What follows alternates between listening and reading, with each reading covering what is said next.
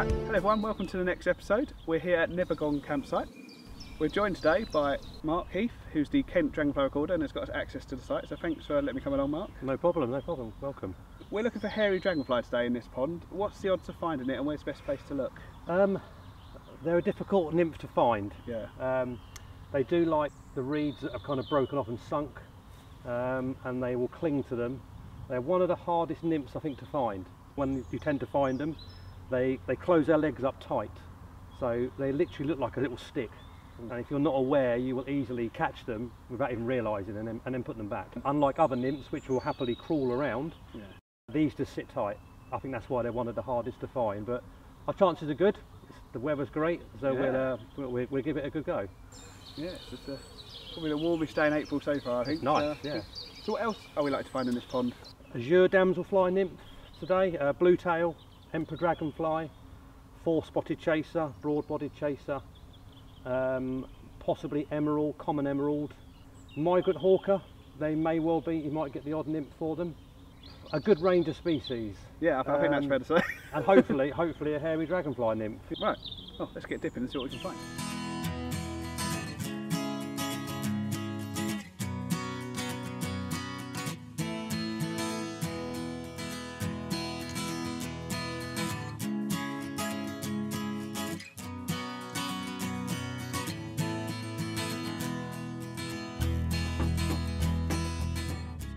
Right, we're still looking. We've found a few damselfly nymphs, but I just want to quickly show you what we've caught in here. So here you can see we've got a male smooth newt. So there's a spoon for scale. He's about normal size. But we've got a free spine stickleback. Look at the size of it. A little bit of a monster, that one.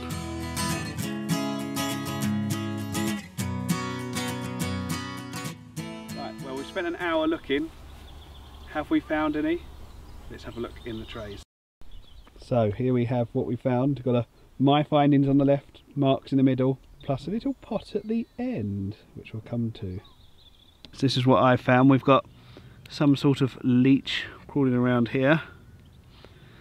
A couple of nice lesser water boatmen, one there, and a number of damselfly nymphs. What do you reckon these are, Marc? I would guess they're probably azure damselfly or blue tailed damselfly. Yeah, so probably Um, I'm sure if we had a proper, proper look at them, we could definitely ID them. Now, this is a, a little public service announcement for anyone that likes to do pond dipping. This is a great diving beetle larva. This is a half grown one, so they get even bigger. If you go pond dipping, make sure you take that out of the tray because it will eat everything in the tray. This is Marc's tray, which is far more impressive, certainly in terms of Odonata. We've got the same damselfly nymphs we had earlier, but we've also got now let's see if we can remember which way round it was. We've got a chaser and a skimmer dragonfly nymph. Do you remember which way round which one was? I think this, I think this one here is possibly black-tailed skimmer. Yeah, so got black-tailed skimmer and broad-bodied chaser here. They look quite similar, but Marc's got the hand lens out and checked out the front of their mouth parts, which is the way to do it. Um, I'll talk a bit more about that later.